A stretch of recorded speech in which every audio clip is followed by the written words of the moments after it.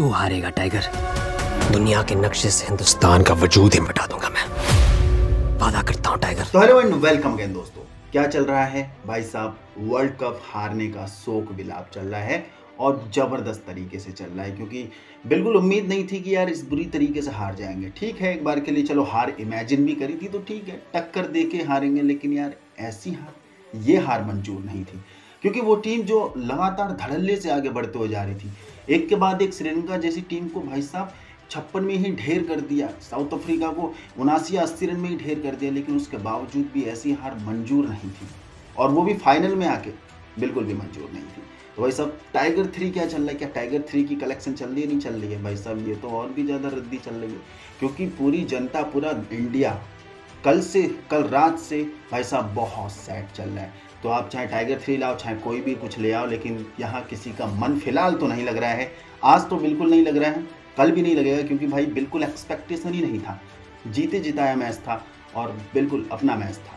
अपना world cup था। That's why की बहुत ज़्यादा बहुत ज़्यादा शोक विलाप चल रहा है। तो देखते हैं टाइगर थ्री कल क्या आग फाड़ पाई है, कल कितना कलेक्शन कर पाई है। भाई बहुत बुरी हालत चल रही मतलब ये मूवी बहुत गलत। समय पर रिलीज़ करी गई है। देखो, एक बात तो ये कि यार साला एक तो वर्ल्ड कप भी नहीं आया, दूसरा इस मूवी का कलेक्शन भी नहीं हो पा रहा है। तो भाई मज़ा तो खैर उतना नहीं आ रहा है। तो कंप्लीट जानते हैं कल कितना क्या रहा कल कैसी कलेक्शन करिए हिंदी से तमिल तेलुगु से कितना आया कल थिएटर में ऑडियंस गई थी या नहीं गई थी या सारी ऑडियंस मैच में ही बिज़ी थी जो भी होगा सब देखा जाएगा एक एक करके डिटेल टू डिटेल तो चलिए शुरू करते हैं। कल डे एट की ऑफिशियल बॉक्स ऑफ़िस की रिपोर्ट आ चुकी है मेकर्स की तरफ़ से। भाई साहब बहुत बेकार रिपोर्ट चल रही है। बहुत गंदा रुझान देखने को मिल रहा है क्योंकि इस मूवी का पोटेंशियल हज़ार करोड़ का था बाई गॉड पठान से कहीं ज़्यादा अच्छी स्टोरी लाइन थी पठान से कहीं ज़्यादा इसमें ज़बरदस्त एक्शन सीन सिक्वल थे। उसके बावजूद भी इस मूवी को फ़िलहाल इकोनॉमिकली तो इतना सपोर्ट नहीं मिल रहा है। हाँ मॉरली सपोर्ट मिला था, लेकिन उतना ज़्यादा बॉक्स ऑफ़िस कलेक्शन में ये आग नहीं फाड़ पाई है।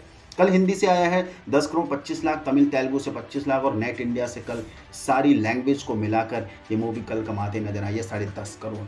भाई, अभी ये आठवां दिन है और आठवें दिन में ही मूवी ने दम तोड़ दिया। जबकि फुकरे थ्री का अगर मुझे याद है तो फुकरे थ्री आठ या नवे दिन में आते आते भी बारह करोड़ या तेरह करोड़ ऐसी कलेक्शन लेके आ रही थी, अपने प्रॉपर वर्किंग डेज़ में होने के बावजूद भी। और जब सातवां दिन या छठा दिन में जब संडे या सैटरडे आया था तो उस मूवी ने अट्ठारह या उन्नीस करोड़ का कलेक्शन किया था। सामने जवान जैसी दमदार मूवी चल रही थी, वो भी कोई एक ज़बरदस्त कॉम्पिटिशन था उसके लिए, बहुत बड़ा ऑब्स्टेकल था। लाइक इस टाइम पर जो टाइगर थ्री के लिए वर्ल्ड कप ऑब्स्टेकल था, वैसा ही।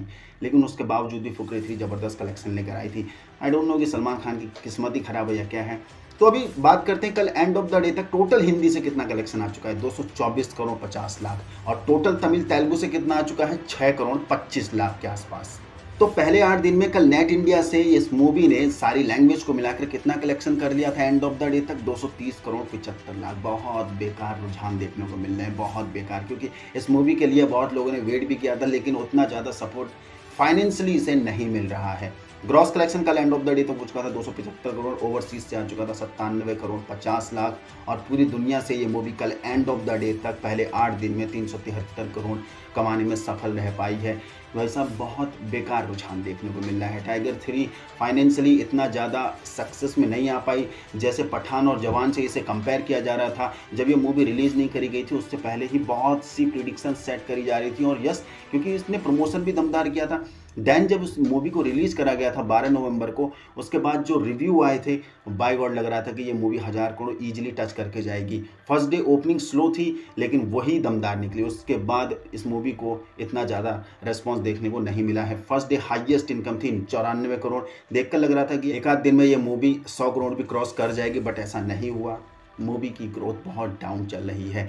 आज भी, आज प्रॉपर वर्किंग डे है तो जब कल ऐसे रुझान देखने को मिले हैं तो भाई साहब, आज तो वैसे ही जनता शोक में डूबी पड़ी है, क्योंकि बहुत उम्मीद थी इस वर्ल्ड कप से, इस वर्ल्ड कप फाइनल से। बिल्कुल, ऐसा मंजर हुआ जैसे हमारे हाथ से कोई चीज़ छीन के ले जा चुका है, जो हमारे हाथों में ऑलरेडी रखी हुई थी। वैसा वाला सीन चल रहा है। तो आज भी ये पूरी दुनिया से लगभग में लगभग पंद्रह से सोलह करोड़ ही कमाते नज़र आ रही है, और नेट इंडिया से लगभग में लगभग आठ से नौ करोड़ का आंकड़ा आते दिख रहा है। देखते हैं अर्ली एस्टिमेट में क्या रिपोर्ट आती है शाम तक की, लेकिन फ़िलहाल के लिए अभी आप लोग बताएँगे कि ये मूवी टोटल कितनी कमाई कर सकती है, क्या अपना बजट रिकवर भी कर पाएगी या नहीं कर पाएगी। 500 करोड़ भी टच कर पाएगी, नहीं कर पाएगी लाइफ टाइम से, जो भी आप राय है, नीचे कमेंट ज़रूर बता के जाना मिलते अगली वीडियो में। जय हिंद।